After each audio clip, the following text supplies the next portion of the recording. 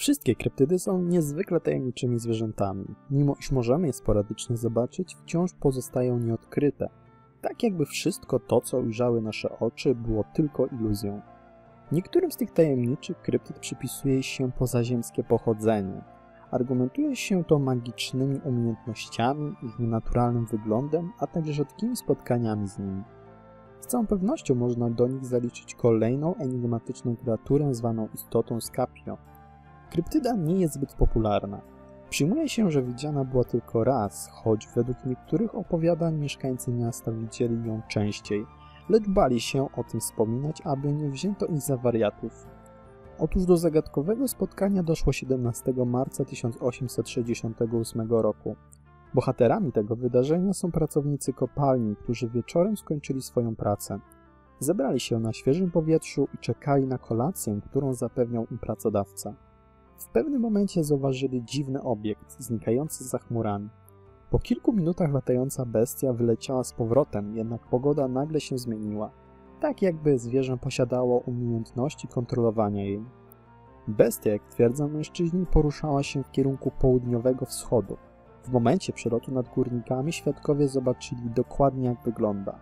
I wielkie skrzydła pokryte były brązowymi piórami. Głowa tego czegoś nie przypominała ptasiej, lecz jakiegoś owada lub homara. A jej oczy były duże i błyszczące, jasne jak żar. Ciało zwierzęcia przypominało węża, ale pokryte było futrem jak u niedźwiedzia. Smród, jaki istota ta wydzielała, przypominał spalony arsen. Zaskoczenie górników szybko zmieniło się jednak w panikę. Po zniknięciu kreatury i kilku łykach czegoś mocniejszego, robotnicy opowiadali, że widzieli samego diabła. Niestety, najprawdopodobniej nigdy się nie dowiemy, czym było owo zwierzę. Istnieje prawdopodobieństwo, że była to jedynie zbiorowa halucynacja. Entuzjaści kryptydy, choć jest ich tak naprawdę bardzo niewielu, stawiają hipotezę, jakoby był to prehistoryczny pterozaur, jednak tak naprawdę nikt nie ma na to dowodów. Oczywiście nie brakuje również w tym przypadku zwolenników teorii związanych z pozaziemską cywilizacją, manipulowanie pogodą, szybkie poruszanie się, a także wydzielanie dziwnego zapachu sprawia, że chce się wierzyć w kosmitów. Szczerze mówiąc, ciężko mi odnieść się do tej kryptydy, zwłaszcza, że do dyspozycji mam tylko jedną udokumentowaną relację. Być może wy będziecie mieli pomysł, czym to stworzenie może być i czy w ogóle może istnieć. Jako, że kryptyda ta była dość krótka, zabierzmy się za następną tajemniczą bestię. Ngoima na pierwszy rzut oka wygląda jak typowy orzeł. Ptak posiada upierzenie koloru ciemnobrązowego, stopniowo przechodzącego w czarny, przy czym dolne partie jego ciała są jaśniejsze. Na ciele ptaka dostrzec można wyraźne wzory. Według relacji pożywia się głównie małpami bądź młodymi kozami. Jako pierwszy opisał go francuski misjonarz André Mollet. Według relacji obserwowany zwierzę było ciemnego koloru, z przedziwnymi wzorami na piórach. Jego dziób i szpony były bardzo ostro zakrzywione. Rozpiętość skrzydeł sięgała mniej więcej 4 metrów.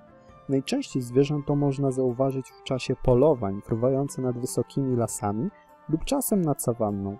Jak już pewnie się domyślacie, Ngoima to najprawdopodobniej nowy gatunek orła. Istnieje możliwe oczywiście, że przywędrował on z innych regionów świata i osiedlił się w Afryce, gdzie świetnie sobie daje radę. Tak, ten jest bardzo rzadko spotykany. Informacje odnośnie obu przedstawionych dzisiaj kryptyd są bardzo ograniczone, ze względu na ich rzadkie występowanie. Jeśli macie jakieś hipotezy odnośnie tego, czy mogą być owe zwierzęta, piszcie w komentarzach. Mam nadzieję, że odcinek choć krótki spełnił Wasze oczekiwania. Pragnę Was również poinformować o stronie na Facebooku, którą dzisiaj dla Was otworzyłem. Link będzie znajdował się w opisie. No cóż, nie pozostało mi nic innego, jak tylko pożegnać się z Wami. Zachęcam Was także do oglądania poprzednich odcinków i oczekiwania na następne. Postaram się Wam je wrzucać dwa razy w tygodniu. No nic, w tym momencie będę się żegnał. Miłego dnia Wam życzę, trzymajcie się, cześć!